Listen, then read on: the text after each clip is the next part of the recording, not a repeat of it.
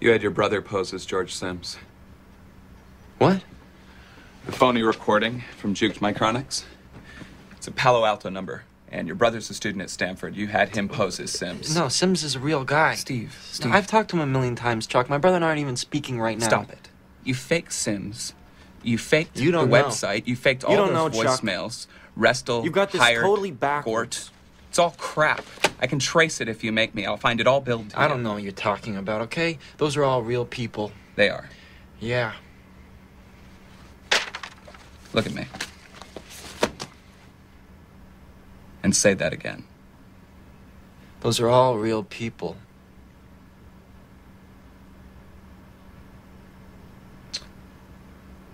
Okay. I want you out of here. What? I want you out of here. And you can't take anything with you. There's some files, okay? I have to put them on a disc. No. No, they're mine. Personal stuff. I don't care.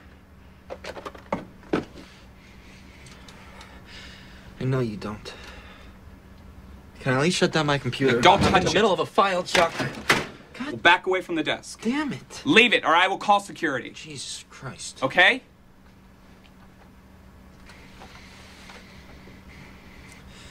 Can I take my Rolodex? Steve. Can I take my law books? Sure.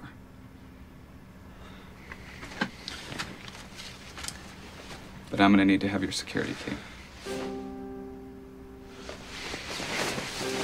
I'm not a criminal, Chuck. Okay? I'm not a criminal. Oh, I heard you. Come on.